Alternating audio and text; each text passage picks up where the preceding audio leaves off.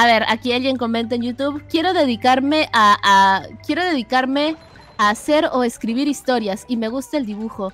No sé, debo estudiar animación, cinematografía, comunicación, ¿qué debería hacer? Eh, voy a ser honesto contigo, deberías ver videos en YouTube este, sobre animación, sobre todo eso, sobre todo esto, y estudiar algo que te guste, pero que sea útil.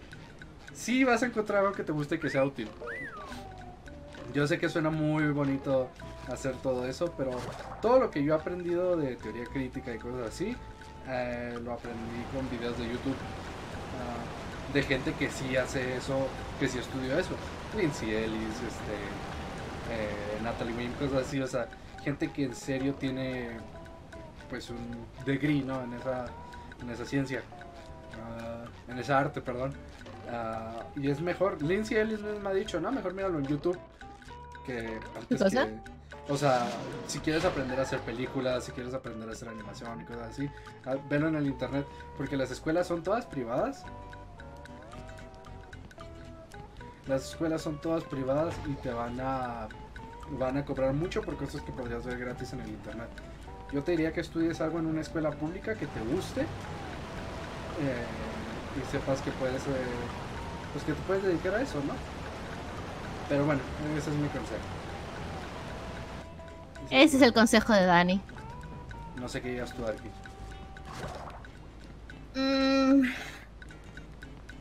A ver, esto, mira, yo siempre me voy a ir, estudia lo que te guste, o sea, ser realista también en ese sentido, like, sí necesitas estudiar para algo, pero no ah, dejes de lado todo lo que quieras hacer, o sea, ah, pero por otro lado, si lo, si lo que quieres estudiar es cinematografía, like, estudia cinematografía un, trabajo va, un trabajo a llegar. Mira, te lo dice alguien que estudió música. Like, yo sé que está recontra fregado estudiar música, pero si es que igual siempre hay un, siempre hay una forma de, de, de, hacerlo sustentable. O sea, imposible no es. Te lo pongo, mira, yo he estudiado música, pero la neta, yo estudié todos los cursos que pude dentro de la universidad para tener lo necesario para poder dar clases de música, porque yo sé que si quiero dedicarme a la música aquí en este país, voy a necesitar ser profesora, pero también quiero dedicarme a hacer mi propia música original y ya lo estoy haciendo por mi parte en internet, like aprendiendo cómo distribuirme yo sola y todo eso. O sea, estudia algo que te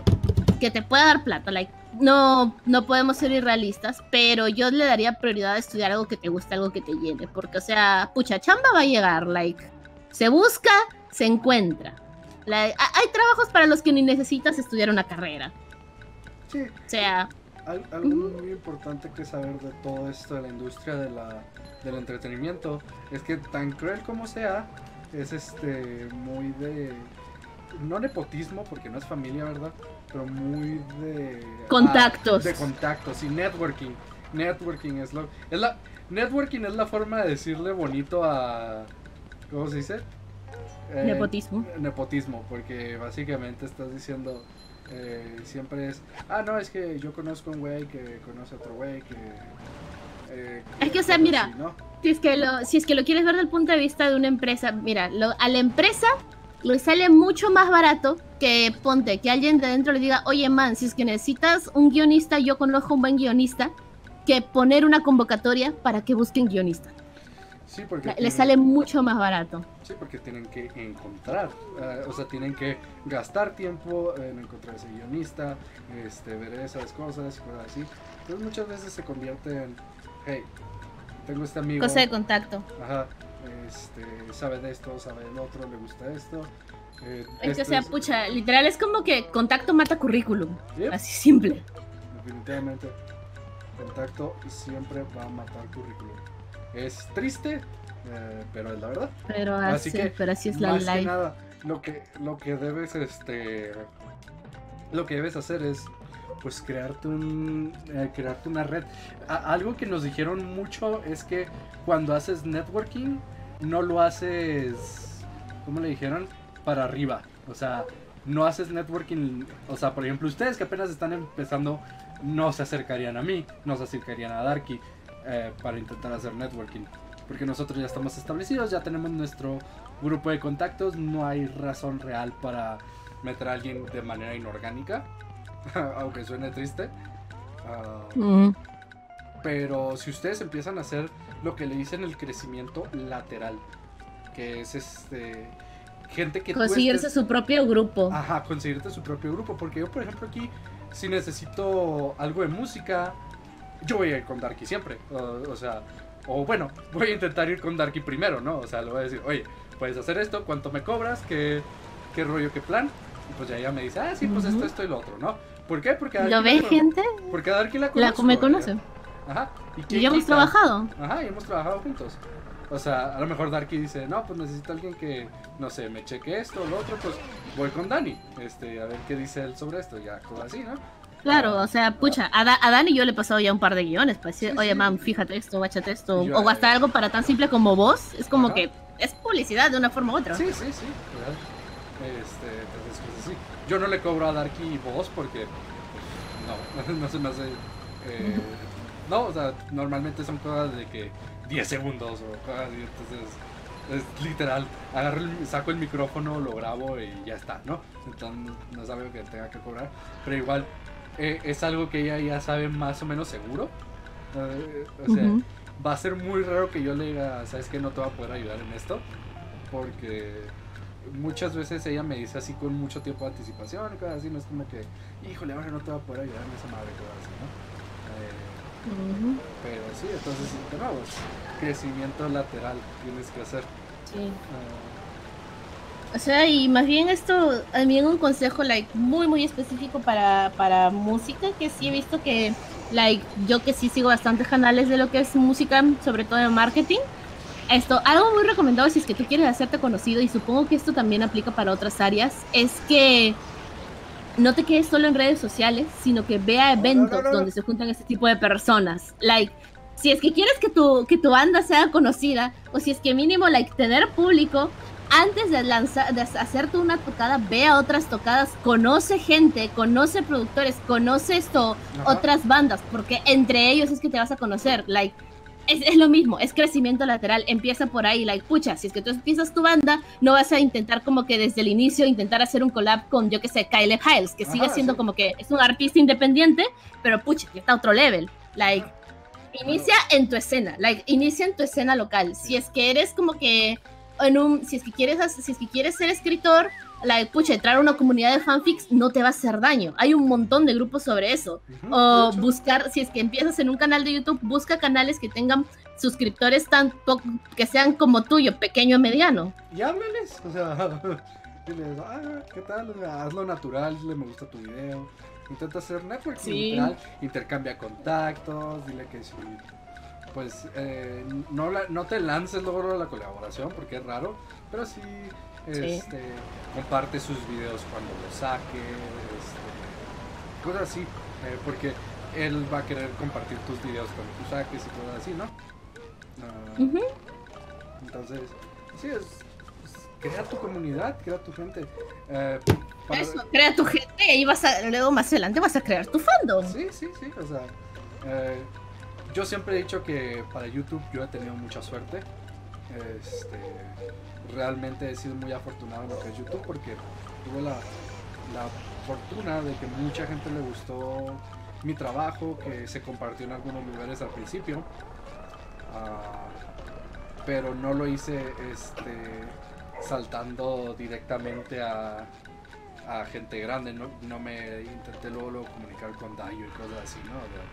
Tampoco no. esto de perseverancia. En, en especial todo lo que es arte, todo lo que es esas cosas, es mucho perseverancia, porque no vas a ver los, no vas a ver los resultados rápido. No vas a ver los resultados rápido. Darky me conoce. Y desde- sí, sí, te conozco desde hace cinco años. Sí, Darky me conoce desde mis inicios en YouTube. Eh, literal fueron como 4 o 5 meses después de que yo empecé mi canal que, que ella me conoció. Ah, ella estuvo este para mi especial de un año. Todavía no tenía mil suscriptores cuando ya ten- cuando tenía un año entero este, trabajando en el canal. Todavía no tenía mil suscriptores. O sea, fue todo un año y todavía no tenía mil suscriptores. Llevo 5 años y apenas voy a 90 mil suscriptores. Eh, eh, es algo que lleva tiempo y esfuerzo. Solo lo digo. Esto, y no sé, y también un consejo sobre todo para lo que va aplicado arte. Sé, tienes que saber venderte. Tienes que saber venderte muy bien. Like, si es que puedes tomar un curso de marketing, si es que puedes tomar un curso de, de, social media manager, a management, hazlo, weón, hazlo. Porque, o sea, la idea y esto, que esta es una de las razones por las que me molestan tanto las películas que van sobre la vida de algún artista o algo. La idea de que vas a ir tú con tu idea original y eso va a pegar. No, it's not gonna work like that. It's not gonna work like that. Like, de hecho, creo que en un video, Lindsay Ellis en su rant que hizo sobre este, sobre Rent, um, lo dice, no way, vas a tener que trabajar en algo que no te guste por cinco años para conseguir dinero para recién hacer tu passion project así es como funciona el arte, así es como en realidad funciona el arte. Sí, sí, o sea, todos te lo pintan bien bonito, deja tu trabajo, eh, dedícate solo al arte, cosas así. That shit ain't gonna work. Te vas a morir de hambre, a menos que te... Eso lo dice gente así, este... Gente con que tiene papás con dinero. Y... Sí. Son cosas así como que... No, cabrón, eso no te va a funcionar. No, es que, o sea, mira, pucha, ve el ejemplo más sencillo. Es como que cualquier ah, banda que conozcas que es famosa, tú durante sus primeros años, los hueones, aparte de tener la banda, tenían como dos trabajos extra también. La pucha, esto, el pata de, de, de, de, 20, de 21 Pilots, el Tyler, el hueón trabajaba en una librería. La que es un músico que trabajaba en una librería. Dude, no existe músico en la escena emo que no haya trabajado en un hot topic, like vendiendo ropa, literalmente, güey, el, el concha sumar el Billy Joe de Green Day, a él lo votaron de, de, secundaria por, por, por ser dealer y vender marihuana a dos dólares. Y su mamá le dijo, ah, te, te, jodes, banda, no señor, vaya a conseguir trabajo. Y el huevón estuvo trabajando como hasta sus 21. ¿Qué clase de marihuana? Dos dólares.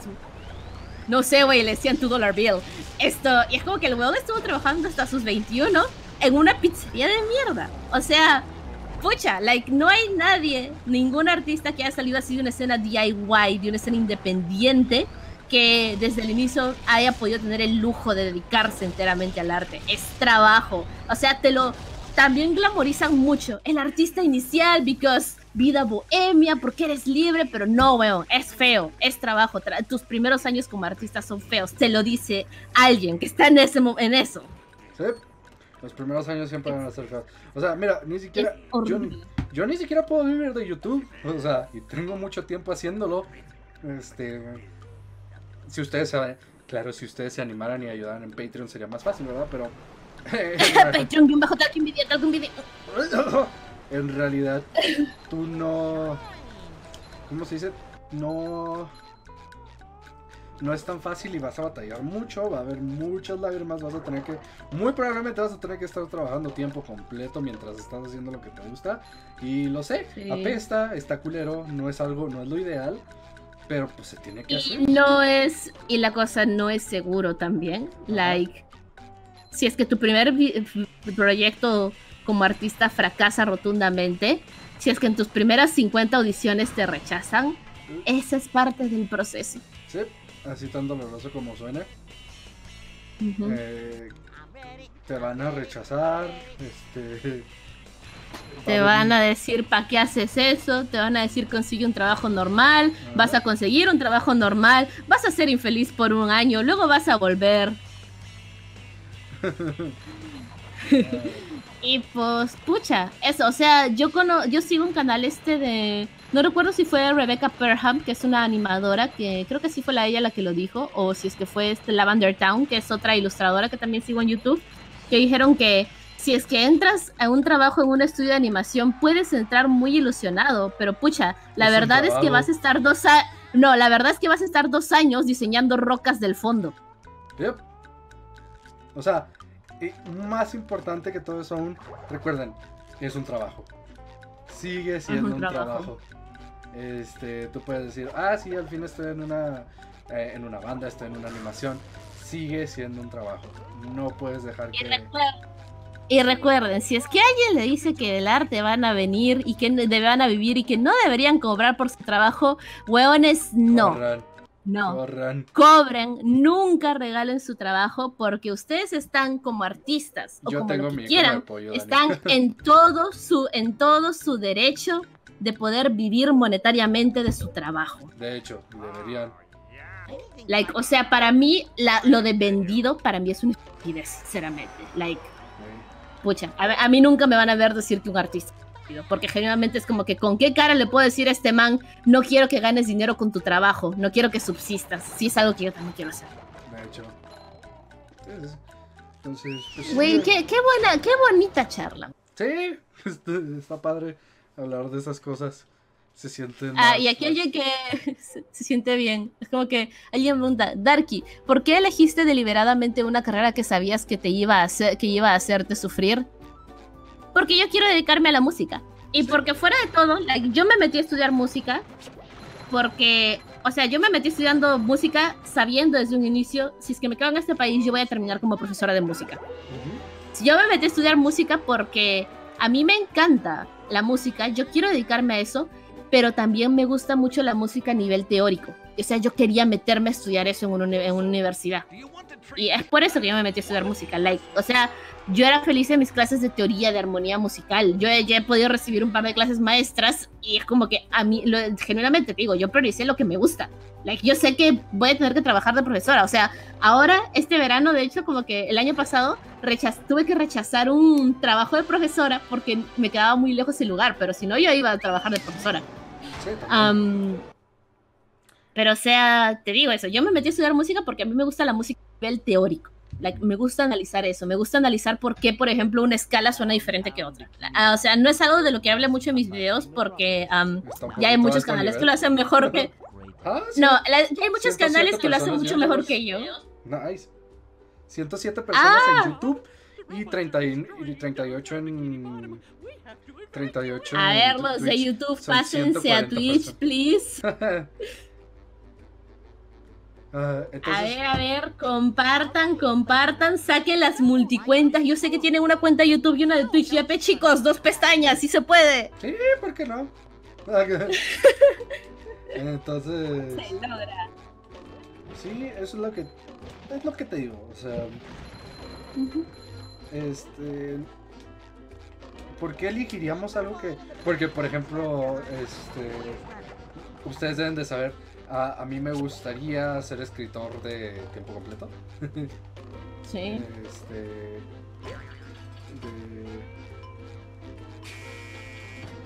escritor de tiempo completo, de trabajar en televisión, escribiendo. Gracias, Mike. Ah, y es como que, pues, ¿por qué estás eligiendo algo tan difícil? Pues, porque es lo que. Lo que me gusta. o sea, es lo que me gustaría estar trabajando el, el resto de mi vida, ¿no? O sea, Ujú. no es que no es que no sepa que va a ser difícil pero pues, pues es lo que me gusta y, es- y yo sé las consecuencias tampoco no soy como que ah quiero que todo me venga en bandeja de plata porque pues, no yo sé que hay una posibilidad y es una buena posibilidad de que no funcione y algo que también muchos tienen que tener en cuenta, y esto creo que de hecho lo dijo Bo Burnham en una entrevista, ah, el sí. factor suerte. Eso es algo que no te cuentan mucho. El Ah, factor suerte sí afecta. todas las espátulas en el primer nivel nice. sí el Oye, factor sí. suerte. de nuevo yo les digo yo siempre les digo yo tuve mucha suerte cuando estaba haciendo cuando estaba empezando mi canal O sea, aquí entre nos, yo he tenido mucha suerte de que sí me he podido hacer de buenos amigos como que para juntar, porque o sea, yo tengo ya un proyecto musical con unos amigos. He tenido la suerte de que conozco a Dani, tengo a Shiro, tengo a Ciber, que todos quieren pro- tienen proyectos audiovisuales y sé que son gente con la, para la que puedo hacer música y como que de una forma u otra es hacerme más conocida con, con ellos. O sea, yo he hecho la música para un jueguito de celular de Shiro y he hecho ya la música para los canales de Ciber y Dani.